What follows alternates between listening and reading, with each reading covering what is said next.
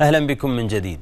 في ضوء التحديات التي يواجهها العالم من الأساليب الاحتيالية يأتي اليوم مؤتمر مكافحة الاحتيال في الشرق الأوسط 2023 بدبي والذي تستضيفه الإمارات برعاية وزارة المالية بمشاركة أكثر من 300 خبير ومتخصص في مكافحة الاحتيال بهدف الوقوف على أحدث التوجهات والتقنيات المتبعة للحد من مخاطر الاحتيال.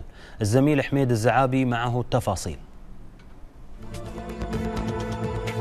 لطالما كانت الممارسات الاحتيالية بكل أشكالها الهاجس الذي يؤرق الكثير منا وفي هذا العصر ومع التطورات التكنولوجية تعددت وتنوعت الطرق الاحتيالية وباتت الحكومات في مختلف دول العالم تعمل على بناء جدار منيع يتصدى لمثل هذه الممارسات.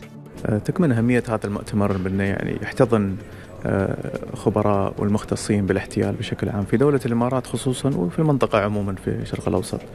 آه، يعطينا الفرصة لنتعرف على بعض ونتبادل الخبرات والآراء وبشكل عام هذا يوفر يعني احتضان لهذا آه، المجال.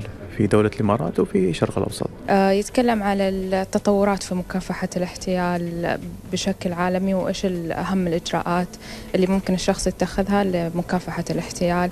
وهالسنة كان ال session أكثر على ال technology الموجودة لأن التطورات في التقنية أثرت على آه، مكافحة الاحتيال آه، يعني بشكل في العالم. و آه، ذكروا اليوم في المؤتمر برضو عن آثارها بعد أزمة كورونا وكيف أثرت على الطرق الجديدة للاحتيال؟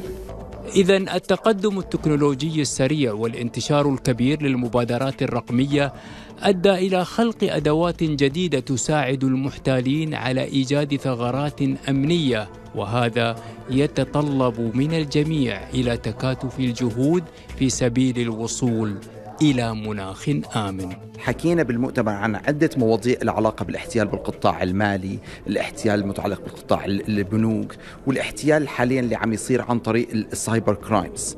والمؤتمر فيه عدة متحدثين من كل أنحاء العالم وعم وركزوا على موضوع كتير مهم أنه حاليا المؤسسات مو بس مفروض تحط أنظمة رقابة داخلية لتمنع عمليات الاحتيال من أنه تصير بدنا نقدر نحن نتوقع شو هي عمليات الاحتيال المتوقعة بالمستقبل ونقدر نمنع حدوثها من الأصل. سرعة التغيرات اللي صايرة تتطلب من نحن كخبراء مكافحة احتيال بشكل عام أن نرتقي بمعرفتنا وبفهمنا لهذه التكنولوجيا وآثارها على الاحتيال ومكافحة الاحتيال.